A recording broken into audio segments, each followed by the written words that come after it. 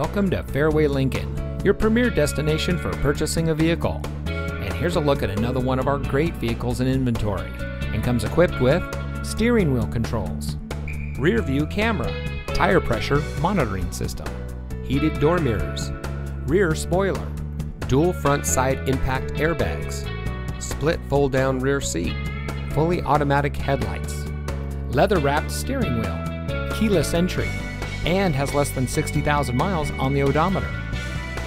Since 2001, Fairway Lincoln has been providing our community with top quality customer service.